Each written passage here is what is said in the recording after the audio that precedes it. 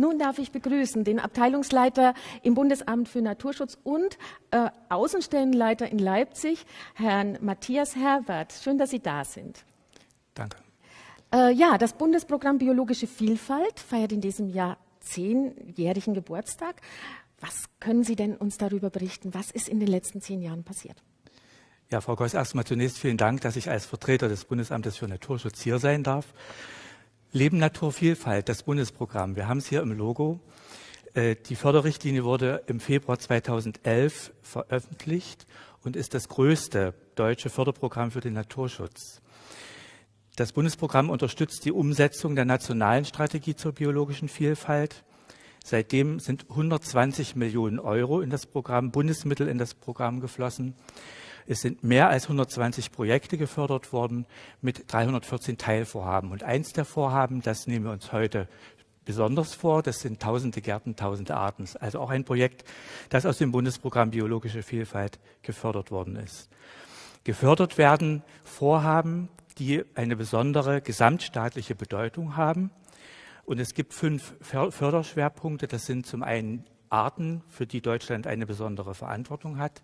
Das sind Hotspots der biologischen Vielfalt, also Gebiete, wo die biologische Vielfalt besonders wertvoll ist. Das ist die Sicherung von Ökosystemleistungen, das ist die Stadtnatur und das sind weitere Maßnahmen. Diese Maßnahmen sollen dazu beitragen, den Rückgang der biologischen Vielfalt zu stoppen und gleichzeitig auch zu Schutz, Pflege und Weiterentwicklung der biologischen Vielfalt beizutragen. Dazu zählen auch akzeptanzbildende Maßnahmen der Informationen, der Teilhabe, der Stärkung des gesellschaftlichen Bewusstseins. Ja, äh, Sie haben vorhin einen Begriff benutzt, der heißt also Ökosystemleistung. Also könnten Sie das vielleicht noch mal genauer erklären? Ja, mache ich gerne. Ähm, wenn Sie sich vor Augen führen, mehr als die Hälfte der Weltbevölkerung und drei Viertel der deutschen Einwohner leben in Städten und urbanen Verdichtungsräumen.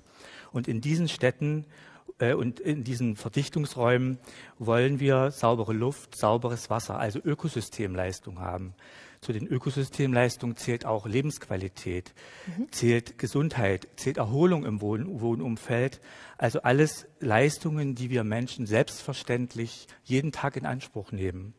Und gleichzeitig gibt es eben ein ganzes Mosaik an Lebens äh, an natürlichen Lebensräumen sowie Arten, die in der Stadtnatur leben und die wichtig sind für unser Überleben und die sozusagen zum Teil sogar unter Schutz stehen. Die Stadtnatur wirkt also als grüne Infrastruktur, die unsere Städte und Gemeinden mit den Ökosystemleistungen versorgt und die unsere Städte und Gemeinden gleichzeitig auch widerstandsfähig gegen den Klimawandel macht. Und deshalb hat die Bundesregierung den Masterplan Stadtnatur verabschiedet und im Bundesprogramm Biologische Vielfalt einen Förderschwerpunkt Stadtnatur geschaffen. Haben Sie da mal ein Beispiel, mal so ein ganz konkretes Beispiel? Ja, äh, also ein Beispiel haben wir ja schon, das äh, behandeln wir heute und mhm. morgen. Also in der Stadt meine ich? In der, also Stadt, in der Stadt, äh, ja, das äh, komme ich vielleicht äh, drauf zu sprechen, weil wir ja in Erfurt sind. In Erfurt gibt es den sogenannten Pico Park. Pico kommt von Piccolo, also kleine Parks. Das sind Parks, die in unmittelbarer Nähe von Wohnungen ähm, geschaffen werden und die dort als wohnungsnahe Freiflächen äh, der Kommunikation, dem Naturschutz, dem Erfahrungstransfer äh, zur Verfügung stehen. Die Wohnungsbaugenossenschaft Erfurt hat zwischen dem Moskauer Platz und der Sofioter Straße eine entsprechende Fläche zur Verfügung gestellt. Und den haben die Anwohner selbst gestaltet mit Insektennisthilfen, mit Erdmännchenskulpturen, mit einem Mosaiksalamander. Sie haben ihm also ihr eigenes Gepräge gegeben. Und das eben, ist eben das Anliegen auch des Bundesprogramms Biologische Vielfalt, die Menschen mitzunehmen, dass sie mitmachen oder wenigstens mitdenken und dass wir so zu einer dauerhaften Sicherung der biologischen Vielfalt auch im Wohnumfeld kommen. Ja, später viel später werden wir am Ende den Pico Park auch mal erleben können. Also wer dran bleibt, der kann äh, mal gucken, was dann da tatsächlich passiert. Das sind schöne Dinge. Äh, gibt es noch irgendetwas für Sie, was, was Ihnen ganz persönlich wichtig ist. Ja, mir ganz persönlich wichtig ist, ich hatte es schon erwähnt, äh, ist der neue Förderschwerpunkt Stadtnatur, der im Bundesprogramm Biologische Vielfalt geschaffen wurde. Der ist wirklich relativ neu und er fördert innovative Ansätze einer Natur naturnahen Grün- und Freiflächengestaltung, eines ökologischen Grünflächenmanagements.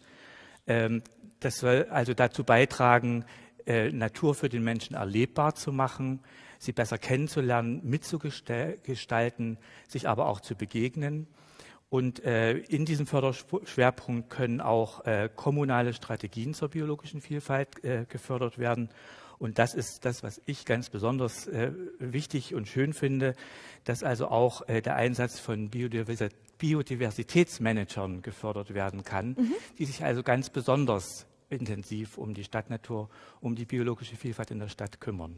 Das heißt also, diese Biodiversitätsmanager werden dann auch die Menschen, also die normale Bevölkerung auch dahin führen. Genau. Und äh, vielleicht eben auch für, für alle Generationen. Also das hört sich wirklich ganz, ganz toll an. Ja, und äh, also sie sollen äh, Erfahrungen austauschen, hinführen, unterstützen, äh, in ganz verschiedenen äh, Zusammenhängen tätig werden.